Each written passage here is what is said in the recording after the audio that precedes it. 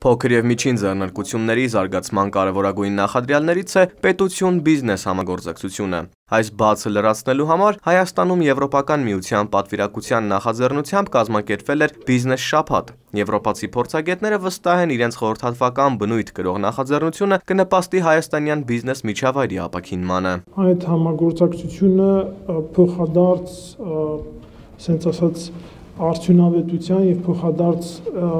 շահելու վրա է հիմնված, որովհետեւ այդ երկխոսությունից եւ համագործակցությունից շահում է եւ մասնավոր հատվածը եւ նաեւ պետականը, որովհետեւ արդյունքում ծնվում են ավելի որակյալ մշակված փաստաթղթեր, որոնք որ ավելի թիրախային կարող են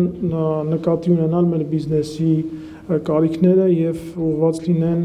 որոշակի զարգացման ուղղվածման միջոցառումների։ Փոքր եւ միջին ձեռնարկությունների համագործակցության ասոցիացիայի նախագահ Հակոբ Հավակյանը նկատում է, Հայաստանում ընդունվում են օրենքներ, որոնք ոչ միայն չեն նպաստում բիզնեսի զարգացմանը, այլև դառնում են ձեռնարկատերերի դժգոհության պատճառ։ Մենք խնդրի հետևից չպետք է գանք։ Մենք պետք է նախորոք հասկանանք ինչ կա, իսկ այն երկխոսությունը հենց հենց դրա համար է։ Նախորոք բարձրացնենք խնդիրները ու դնենք կառավարության սեղանին։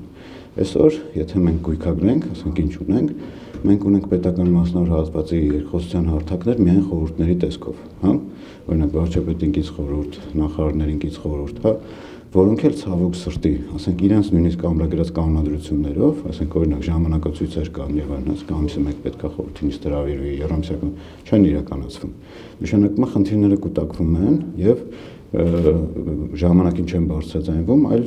ավելի լուրջ պրոբլեմատիկի դեպքում են։ Սամսոն Գրիգորյանը զբաղվում է անվտանգության համակարգերի տեսախցիկների ներմուծմամբ եւ վաճառքով։ Գործարարը փաստում է, իր բիզնեսի համար խնդիրները սկսվում են հենց մաքսակետում։ Իր ընկերությանը անվան տակ չի կարողանում ապրանքներ կրել, ստիպված բեռնափոխադրող ընկերությունների ծառայություններից է օգտվում, ինչն ավելորդ ֆինանսական բեռ է։ Խոսելով պետություն բիզնես երկխոսության մասին գործարարը նշում է, պետությունը փոքր եւ միջին ձեռնարկությունների զարգացմանն ուղված համապատասխան քայլեր չի ձեռնարկում։ Նախքան օրենքները ընդունելը ոչ մի քննարկումներ էլի չեն լինում հենց կոնկրետ բիզնեսի հետ իմ կարծիքով շատ մեծ դերակատարություն կարող ունենալ բիզնեսի ներկայացուցչությունը այդ ոլորտում, որ ասենք քննարկումներ լինեին, թեկուս հանձնաժողովներ ինչ որ ստեղծվեն, դա չկա հիմա այդ ինստիտուտը չի գործում Հայաստանում, իսկ ինչ վերաբերում է անհավասար պայմաններին, դե իհարկե բոլորս գիտենք, անհավասար պայմանները շատ մեծ խնդիրներ են ստեղծում։ Նույն այդ տնտեսության զարգացման համար, մանր բիզնեսի համար եւ բոլորի համար։ Չի կարող մի երկրում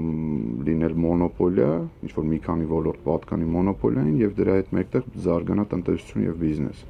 Մոնոպոլիան շատ մեծ խանգարող ուժ է համարում։ Օրենքը ընդունվում է, Հետո ժողովուրդը դուրս է գալիս փողոց, հետո parzum է որ հա, վայ, կներեք, ստեղ սխալ էին կարել, պես մեկը ճիշտ ասեցիք, սենց չպետք է լիներ։ Ավելի ճիշտ կլիներ իմ կարծիքով նախորոք լսել բիզնեսին, իմանալ այդ օրենքի թույլ տեղերը որտեղ է,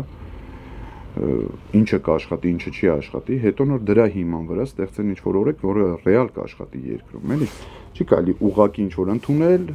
նկատած կլինեք, մոտարապես համարյա բոլոր օրենքները ընդունվում են, հետո մի 10 անգամ փոփոխության են ենթարկվում ավելի ճիշտ չէր լինի միանգամից ընդունել աշխատող որակյալ օրենքներ, որոնք ռեալ կաշխատեին ու ինչ որ օգուտ կբերեին համ պետությանը, համ բիզնեսին։ Խոսելով օրենքների մասին, գործարարն առաջին հերթին կարևորում է դրանց հավասարաչափ կիրառումը բիզնեսի բոլոր տեսակների եւ հատկապես անհատների վրա, անկախ նրանց զբաղեցրած դիրքից։ Հավասարության պայմանը դա առաջին նախապայմանը բայց գոնե գոնե, ասենք օրենքը ընդունելուց լավ, ասենք քիչ-քիչ են գնում հավասարությանը,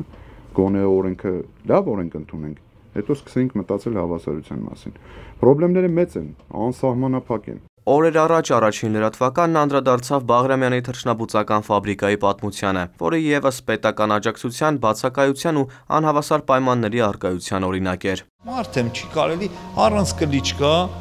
անկուսակցական Հայաստանի Հանրապետության քաղաքացի թող այդ աջակցեն, շարունակենք։ Ես ցանկություն չունեմ մեր այս հողն ու ջուրը թողնել ու գնալ։ Մինչ Հայաստանում Եվրոպական միության պատվիրակության նախաձեռնությամբ ու աջակցությամբ կառավարության կողմից քայլեր են ձեռնարկվում ապահովելու պետություն բիզնես երկխոսությունը, Հայաստանում ոչ միայն փոքր ու միջին ձեռնարկություններն են սնանկանում ու փակվում, այլև անգամ խոշոր արտադրողները։ Արթուր Հովանիսյան, Վազգեն Համբարձումյան, առաջին լրատվական։